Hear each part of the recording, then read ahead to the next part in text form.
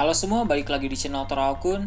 Sebelum pembahasannya dimulai, silahkan klik tombol subscribe dan aktifkan lonceng notifikasinya supaya kalian gak ketinggalan info dan teori terbaru dari Mimin.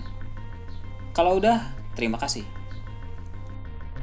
Zoro dan Sanji telah melakukan berbagai hal penting dalam Perang Wano. Namun, mengingat Perang Wano masih berjalan, maka peran mereka berdua dalam pertempuran itu pun terus berlanjut. Baru-baru ini, mereka kembali mengemban tugas penting untuk bertarung melawan King dan Queen. Pertarungan tersebut sangat menarik karena akan mengungkap banyak hal penting yang berkaitan dengan Zoro dan Sanji.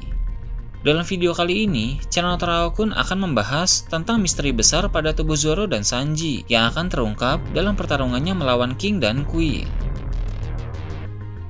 Sudah dari lama, banyak penggemar menduga akan ada pertarungan antara Zoro melawan King.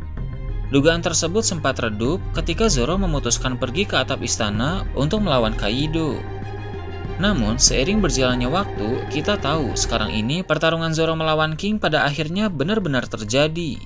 Hal itu bermula dari manga chapter 1022, di mana Zoro yang telah pulih melancarkan tebasan kepada King dan membuat King terkapar di tanah.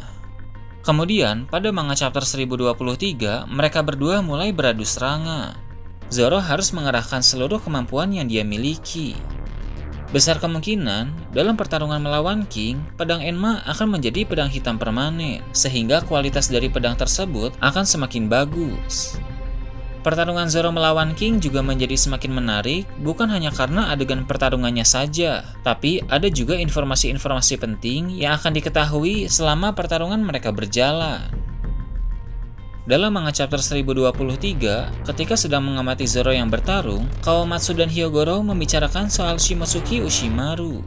Menurut mereka berdua, Zoro memiliki kemiripan dengan Ushimaru, mulai dari fisik sampai gaya berpedang. Pada masa lalu, Ushimaru terkenal sebagai seorang pendekar pedang hebat dan juga keturunan dari Ryuma, sang dewa pedang. Uniknya, pedang Susui milik Ryuma yang dianggap harta keramat Wano Kuni dimiliki oleh Zoro dan pada akhirnya dikembalikan ke Wano Kuni setelah ditukar dengan pedang Enma. Bagi Kawamatsu, hal tersebut semacam permainan takdir dan fakta menarik lain adalah ternyata Ryuma juga seorang samurai bermata satu.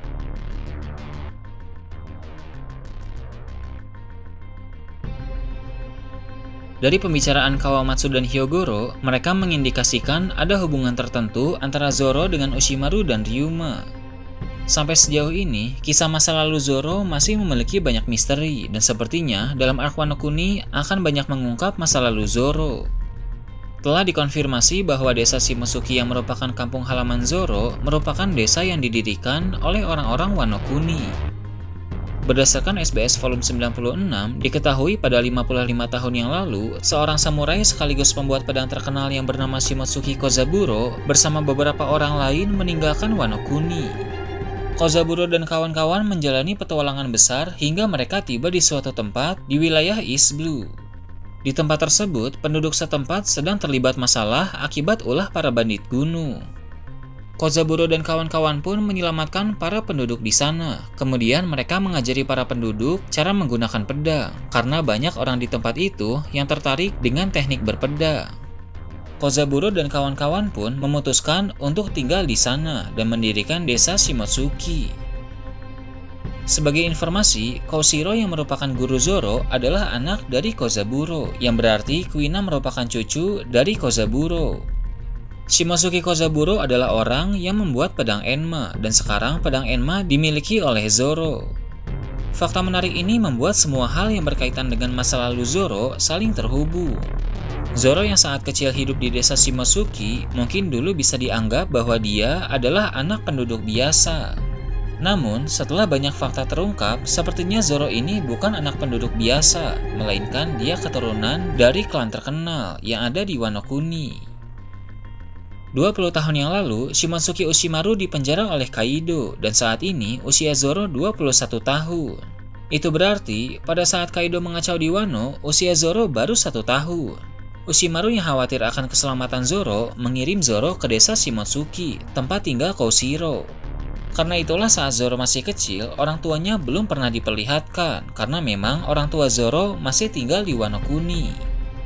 Zoro pun memakai nama panjang dari marga ibunya, yaitu Roronoa. Sama halnya dengan Ace yang memakai nama panjang ibunya, yaitu Portgas.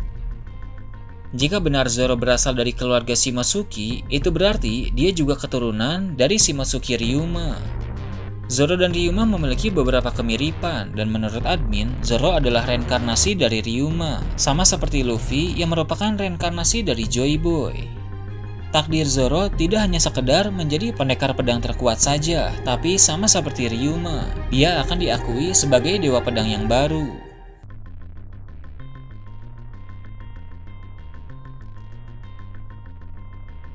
Beralih ke Sanji, pertarungan Sanji melawan Queen juga sedang terjadi.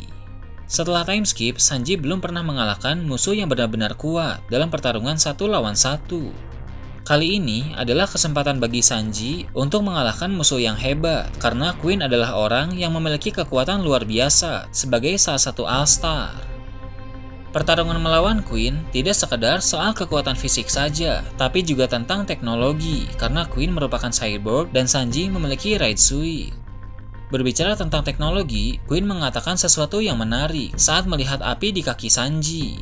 Queen menduga kekuatan Sanji itu berasal dari suatu teknologi, sebab manusia biasa yang tidak memakan buah iblis tidak bisa menciptakan api, hanya ras lunaria saja yang bisa melakukannya. Tentu Sanji membantah perkataan itu karena dia tahu dia adalah manusia biasa. Bahkan dulu saat masih di Jerman, Sanji dianggap sebagai produk gagal karena Sanji tidak memiliki kekuatan super seperti para saudaranya. Namun, perkataan dari Queen sepertinya menimbulkan misteri baru.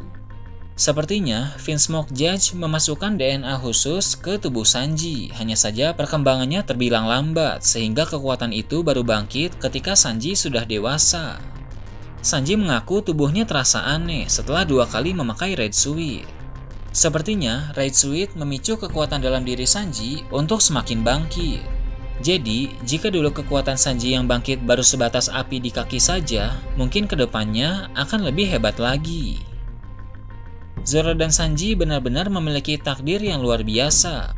Mereka berdua sangat cocok menjadi sayap bagi Luffy, sang raja bajak laut masa depan.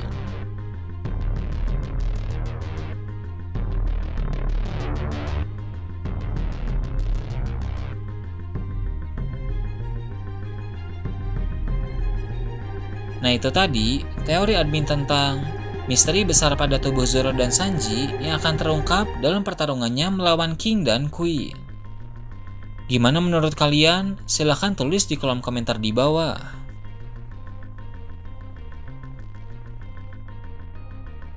Oke segitu aja untuk pembahasan kali ini. Jangan lupa like, share, dan subscribe untuk video menarik selanjutnya. Gue Torakun, Shambles.